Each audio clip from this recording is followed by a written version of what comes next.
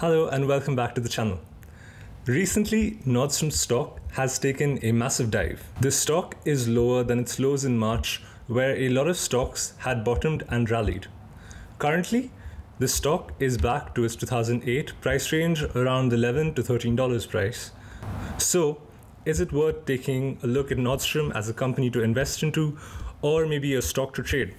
For those that are unfamiliar with Nordstrom, it's a luxury department store chain that's over 100 years old, run by multiple generations of the Nordstrom family.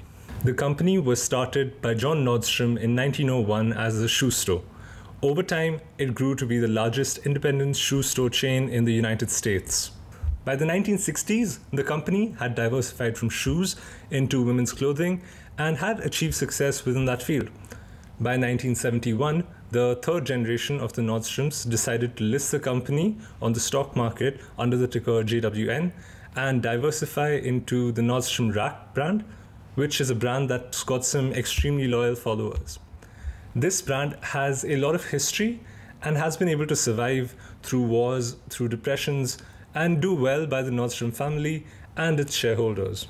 So, why exactly has the stock fallen more than 25% in the last month back in September? Well, a couple of reasons for this. In Q2 earnings, the company reported an EPS loss and missed analyst estimates.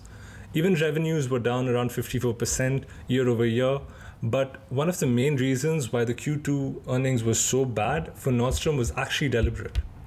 They normally have their anniversary sale in July, but this year they decided to push it to August so it could coincide with a lot more stores being open. A lot of the Nordstrom stores had stopped operating for some time to comply with the stay at home orders and the quarantine measures that were in place. This negative earnings had caused many to be overly pessimistic on the stock. Short interest in the stock has spiked up to 40% now. And now, due to the high level of insider ownership and ownership by passively managed funds, we could see a short squeeze in Nordstrom stock price around November. An increased demand from their online channels, along with better expected revenues from the anniversary sale, could possibly beat estimates and get the stock to rally much higher within the next few months.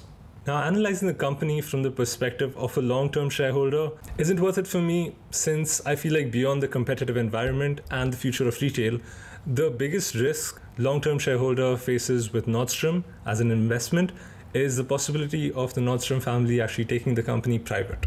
Back in 2018, the company had tried to take the company private with a cash offer at a valuation of roughly $8.4 billion which you know translated to a premium at that point of around $50 per share. At the time, the board rejected the offer, stating that the price offered was far too low. Now, to add some perspective to this, the current market cap of the entire company today is at around $2 billion. The Nordstrom family understands that to survive for the next 100 years, their namesake business would require a long term approach to. At current prices, I won't be surprised to hear an announcement about the family trying to take the business private again. It's in their best interest and also the best long term interest of the company. At its current valuation, Nordstrom is more likely to go up 50% than down 50%. Due to the anniversary sales and the short squeeze, the company has plans to reduce its inventory, reduce capex, reduce its overhead expenses, and increase their cash savings. If they're able to prove that in the Q3 earnings, there will be further positive momentum built up in the stock price. Also, as we go into Q4, we may see stronger retail sales due to the holiday season. Now, as a trade opportunity, it's good, it's not great. If you were looking for a short squeeze, there are definitely better opportunities than Nordstrom. If you're looking for, say, a turnaround, there are again better opportunities. Saying that, I am slightly bullish on Nordstrom's prospects in the next three month time horizon but I definitely would not be comfortable holding it as a long term compounder. Nothing to do with the fundamentals, but mainly because of the possibility that the company might be taken private. In fact, I actually do own some shares of Nordstrom stock in my eToro portfolio. If you're interested to see what I currently hold in my portfolio, there's a link in the description below, and that should show you my entire portfolio on eToro. Have you been following Nordstrom stock? is it a company that you see doing well in the long term? I would like to get some different perspectives about this company in the comments below. If you've got some, let me know. And uh, I hope you liked the video and thanks for watching.